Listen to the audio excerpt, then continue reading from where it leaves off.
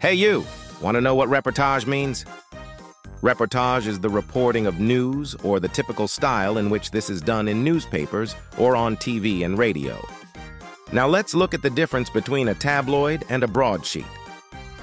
A tabloid mainly features celebrity gossip, lots of images, eye-catching headlines, and are mostly more biased than broadsheets. Broadsheets have larger formats, are more serious, trustworthy, and most of them have subscription services. Speaking of subscriptions, you should probably subscribe.